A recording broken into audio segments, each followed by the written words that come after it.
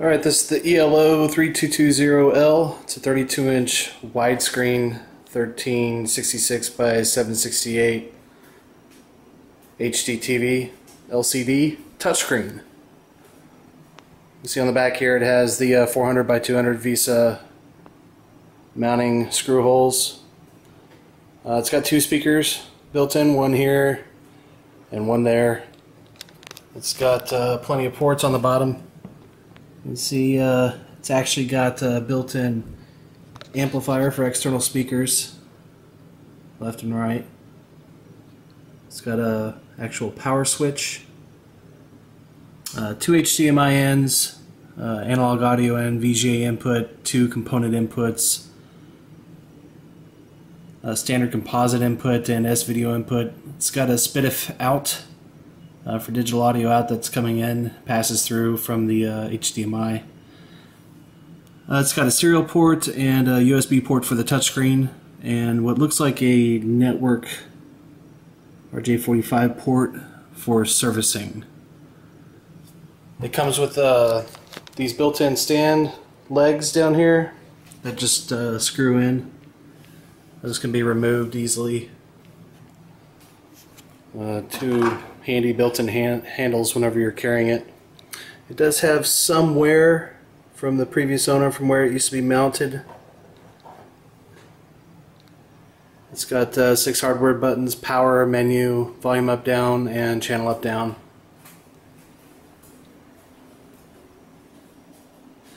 And here's the touchscreen.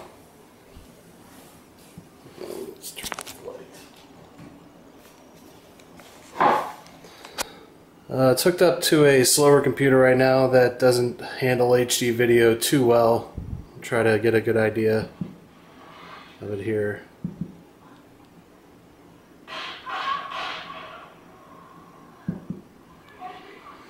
Well, that was a unfortunate place to pick in the movie.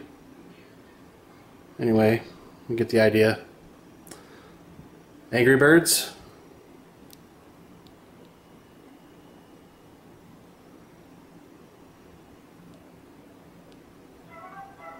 Oh, yeah.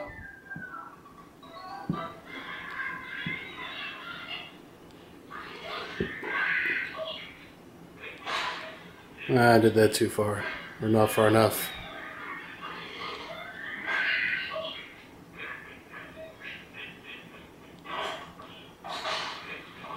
Ah.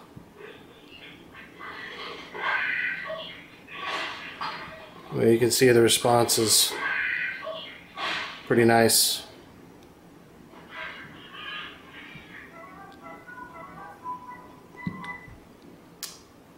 And uh, go check out uh, Chrome. Browse through some web pages, get the general idea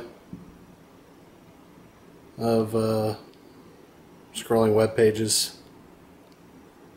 Uh, this wasn't built in by default in the Chrome, you actually have to add an extension so that it recognizes touch instead of dragging and trying to copy text like that.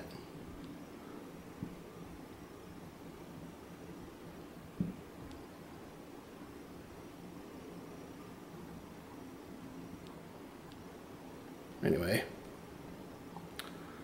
um, something I've been messing with.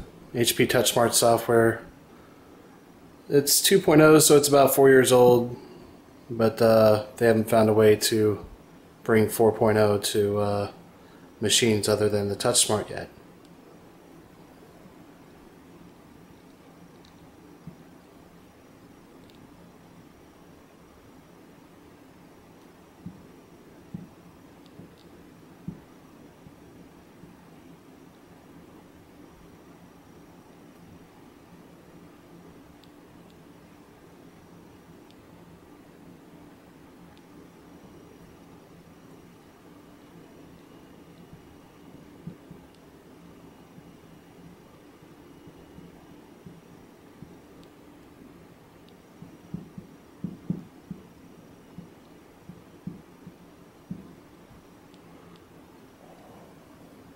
best question mark ever.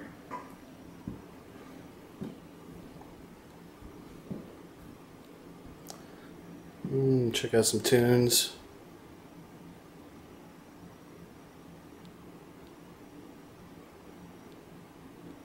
Come on, iTunes. There you go.